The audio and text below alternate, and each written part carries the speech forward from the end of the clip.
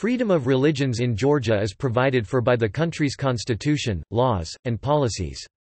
In practice, the Georgian government generally respects religious freedom, however, the Georgian Orthodox Church enjoys a privileged status in terms of legal and tax matters, involvement in public schools, and property disputes. There have been efforts by private citizens, local government officials, and local Georgian Orthodox Church leaders to harass and persecute members of minority religious groups and interfere with their worship activities. Despite calls for tolerance and respect for pluralism by government leaders, the Georgian central government has not been successful in preventing such incidents.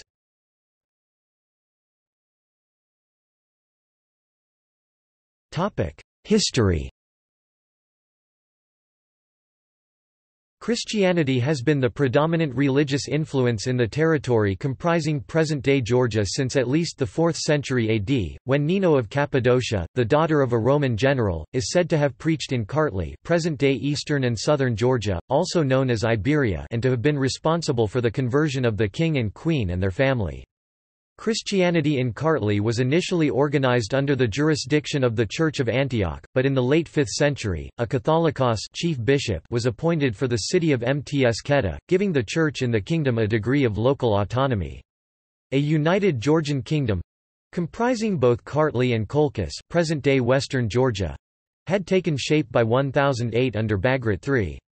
In 1010, the Church in the unified Kingdom of Georgia became autocephalous self-governing, and its Catholicos Melchizedek I was elevated to the rank of Patriarch and obtained the official title of Catholicos Patriarch of all Georgia. From the 13th through the 18th centuries, Georgia was invaded numerous times by Mongols, Ottomans Turks, and Safavids Persians, and the Kingdom of Georgia became fragmented by the end of the 15th century. A notable Christian martyr of this period was Ketevan of Mukrani, a queen who was tortured to death in 1624 after refusing demands by the Safavid ruler Abbas I to renounce Christianity and convert to Islam. In 1801, the kingdoms of present-day eastern and central Georgia were occupied and annexed by the Russian Empire. The Russian authorities abolished the independent status of the Georgian Church and made the region subject to the Russian Orthodox Church. The use of the Georgian language in the liturgy was suppressed, and many church church buildings in Georgia were defaced and fell into disrepair. The Georgian Orthodox Church (GOC) reasserted its autocephaly after the overthrow of Tsar Nicholas II in 1917, but the Georgian Church was subjected to renewed harassment in the 1920s and 1930s by the newly created Soviet Union, during the rule of the Georgian-born Soviet leader, Joseph Stalin. As part of Stalin's efforts to unite the Soviet citizenry against the Nazi threat during World War II, state-sponsored persecution of religion was somewhat eased, and the GOC's independence from the Russian Church was once again formally recognized in 1943. Restrictions on religious organizations returned after the end of the war, and the general corruption which plagued the leadership of the Georgian SSR in the early 1970s affected church officials in Georgia. When Ilya II became Patriarch of the GOC in 1977, he moved to rejuvenate the church, directing the renovation of derelict churches, as well as construction of new churches. The GOC joined the World Council of Churches WCC in 1962, and II served as president of the WCC between 1979 and 1983. The GOC's power and prestige in Georgian society increased significantly after Ilya II's installation as patriarch in 1977. In 1990, the Ecumenical Patriarchate of Constantinople, the first among equals, of the Eastern Orthodox prelates formally recognized the autocephaly of the GOC and affirmed Ilya II's title of Catholicos Patriarch of all Georgia.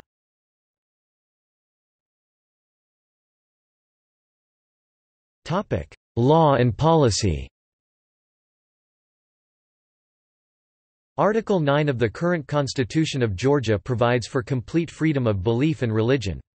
It also recognizes the special role in the history of Georgia of the Georgian Orthodox Church, but stipulates that the GOC shall be independent of the state.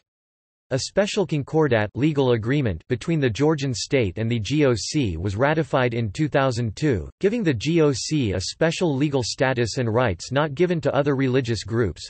Including legal immunity for the Georgian Orthodox Patriarch, exemption from military service for GOC clergy, and a consultative role in education and other aspects of the government. In 2003, an effort by the Roman Catholic Church to negotiate its own concordat with Georgia failed after the government yielded to pressure from the GOC leadership and public demonstrations said to have been organized by the GOC.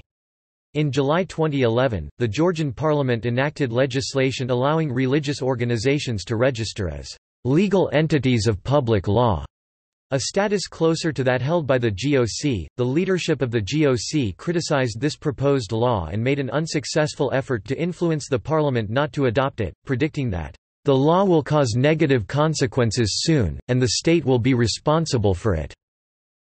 Prior to this 2011 change, religious groups other than the GOC had only been allowed to register as non-commercial legal entities of private law, a status similar to that of a charitable foundation or an NGO which some churches considered unacceptable and refused to apply for.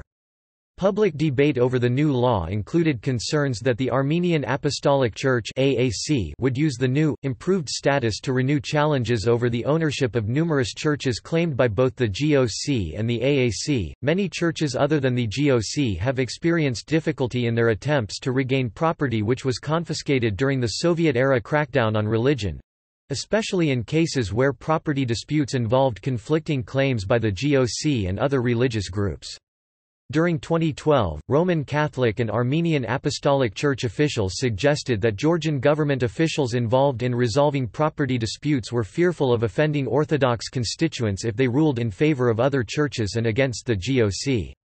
Cases were also reported in 2012 of Jehovah's Witnesses being denied alternatives to military service which they had refused to perform on grounds of conscience, of Seventh-day Adventists being refused alternative dates for school examinations scheduled for Saturday, and Muslims and Jews being denied worship facilities or faith-specific dietary accommodations in prisons. In 2012, Georgian President Mikhail Saakashvili made public statements recognizing the religious contributions of Roman Catholics, Armenian Apostolics, and Azeri Muslims, saying that he was proud that we are making a unified state where representatives of all cultures, confessions, and ethnicity feel themselves as equal children of the country."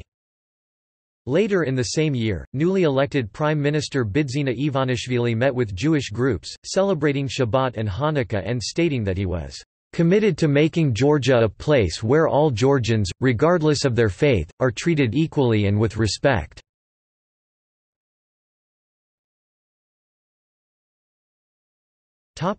Abkhazia The disputed region of Abkhazia is claimed by Georgia as part of its sovereign territory, but it has been entirely outside Georgia's effective control and ruled instead by a de facto separatist government since the early 1990s. Following the 2008 Russia–Georgia War, Abkhazia gained formal recognition as an independent state by Russia and a small number of other nations, though the United Nations UN and most of the international community still consider it to be part of Georgia. As a consequence of a 1992–1993 war with Georgia, most ethnic Georgians originally living in Abkhazia were either expelled or killed. Approximately 60% of Abkhazians identify themselves as Christians, most being either Eastern Orthodox or Armenian Apostolic adherents. The GOC has lost effective control over church operations in Abkhazia, and the organizational vacuum has been filled by a new Abkhazian Orthodox Church, which is recognized by the government of Abkhazia, but not by the GOC or the Russian Orthodox Church, which still consider the church in Abkhazia to be under the jurisdiction of the GOC. Roman Catholics, Baptists, and Lutherans have been allowed to operate in Abkhazia. Jehovah's Witnesses are officially banned, but Jehovah's Witnesses communities in some parts of Abkhazia have been able to establish working relationships with local authorities and have thereby been able to hold some meetings. The GOC has not been able to operate in Abkhazia, and GOC and Georgian government officials have complained about the elimination of Georgian architectural elements during restoration efforts by Abkhaz authorities on churches and monasteries historically claimed by the GOC.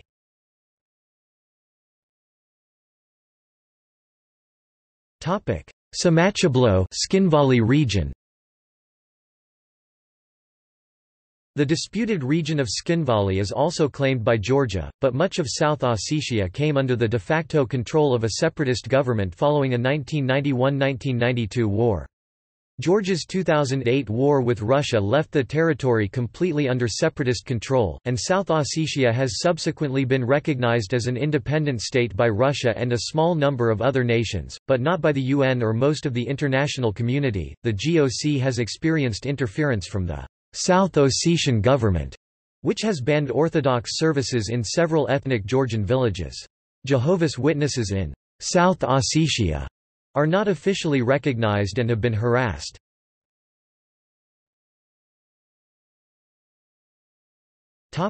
Societal attitudes The overwhelming majority of the modern Georgian population identifies with the Georgian Orthodox Church (GOC), between 83 and 86% of the population, according to various polls.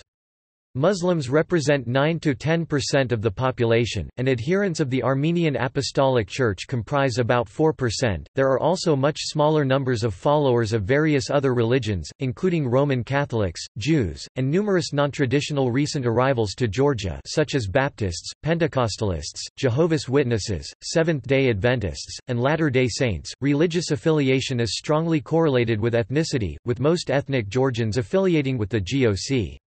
About 45% of the Georgian population attend some sort of religious services at least once a month. Minority religious groups are viewed by some Georgians as a threat to Georgian national identity, cultural values, and the GOC. Between 1999 and 2002, followers of a defrocked former GOC priest, Basil Mkalavishvili, attacked congregations of Jehovah's Witnesses and Baptists in Tbilisi. During 2012, some congregations of Muslims and Jehovah's Witnesses reported physical confrontations and verbal threats, some involving local GOC priests and their parishioners. In 2011, eight members of Orthodox fundamentalist groups were sentenced to prison for breaking into a television station and assaulting participants on a talk show on religious freedom. However, after the October 2012 parliamentary election and the transition to a new government, these individuals were reclassified as prisoners of conscience, and were freed as part of a general amnesty. In September 2013, Patriarch Ilya II delivering his Sunday sermon in the Holy Trinity Cathedral of Tbilisi said that although rights are good and are needed and rights should be protected, it was less often recognized that the majority too has to be protected, and that often the majority is more oppressed than the minority.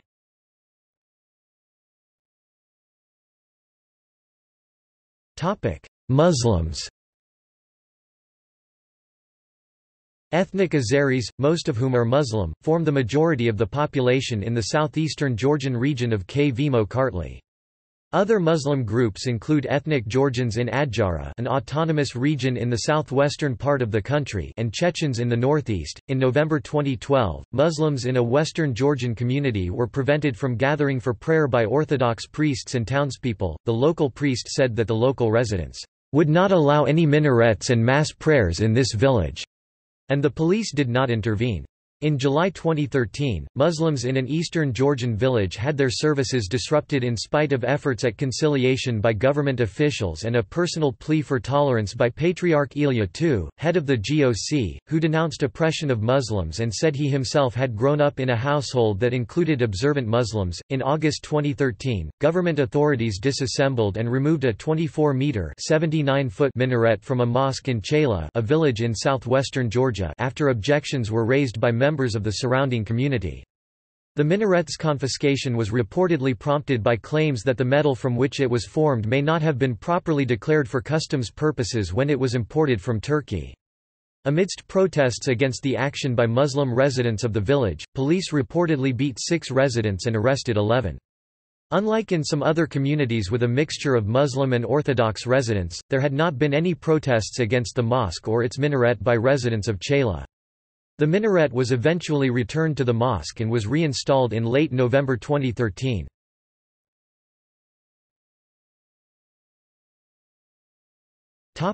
Other controversies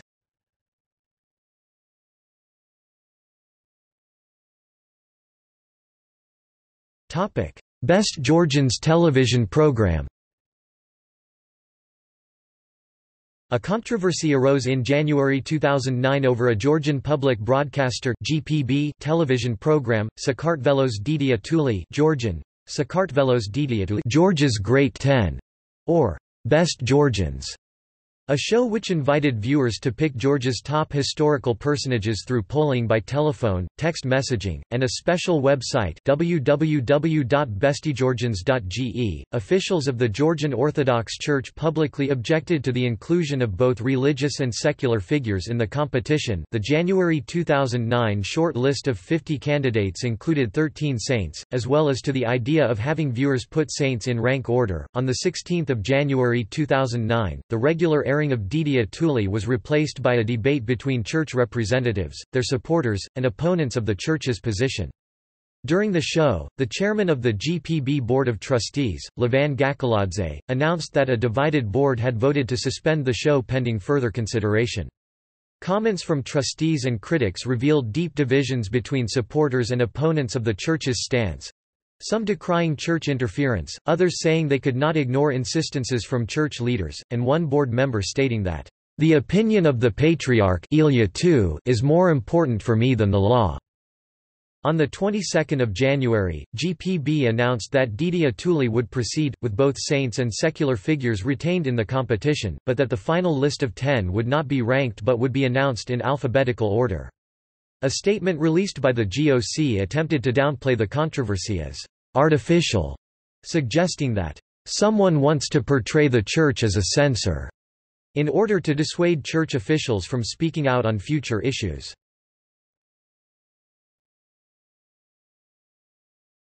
Topic: Father hemorrhoids. Videos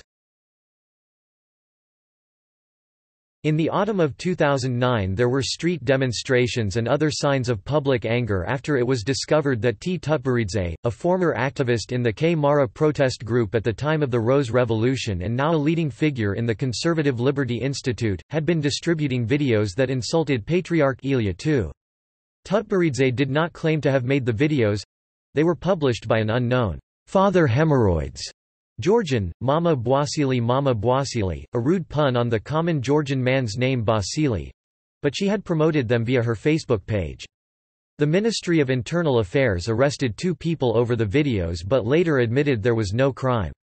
Tutberidze remained defiant and later accused the Church of cooperation with the KGB under Soviet rule.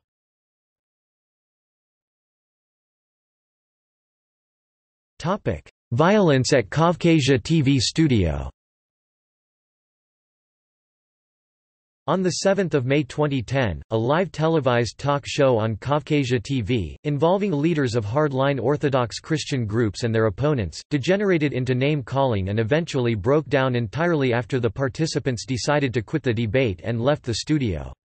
After an unusually long commercial break, the host of the program announced that a fistfight between the opposing sides had occurred outside the studio. Some minutes later, several members of one of the hardline Orthodox groups—including priests—entered the studio and accused the program's host of having staged a provocation. Police arrived and arrested several people. One opposition politician in the studio suggested that the hardline groups would not have dared to do things like this without having support of the authorities. A member of one of the Orthodox groups, on the other hand, accused the Liberty Institute a government-aligned think tank of promoting anti-religious ideology.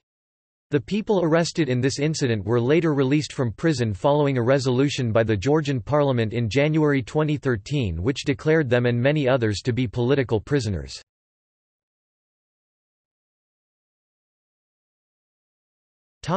Anti-homosexuality violence On 17 May 2013, a rally marking the International Day Against Homophobia, Biphobia and Transphobia was held in downtown Tbilisi. Despite the presence of over 2,000 police officers, participants in the event were attacked by thousands of counter-demonstrators—including GOC clergy—who broke through the police lines. Priests and members of the GOC, communicating via social networks, had protested the planned event and had announced plans to prevent it from taking place. Debate over the incident extended beyond LGBT rights and grew into a broader discussion about the role of the GOC in Georgian society. On 24 May, several hundred demonstrators gathered in a downtown Tbilisi park with banners reading, No to Theocracy and No to Darkness. A parallel counter-demonstration carried a banner calling for a ban on propaganda of sexual wrongness and indecency.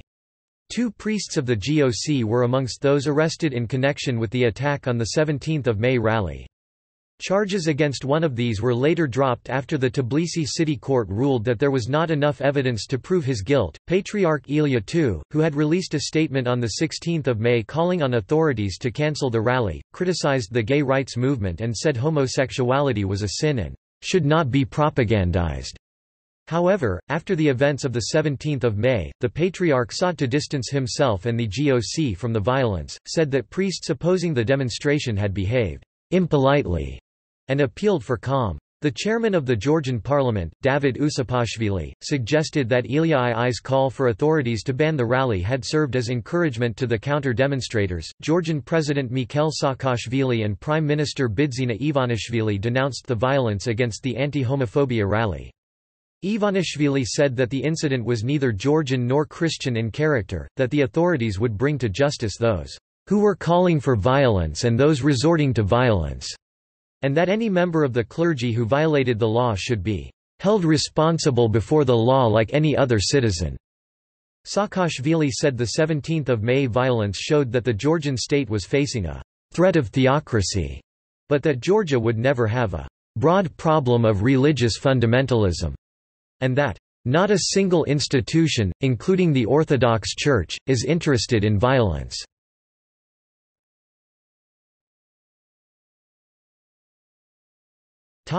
See also. Secularism and irreligion in Georgia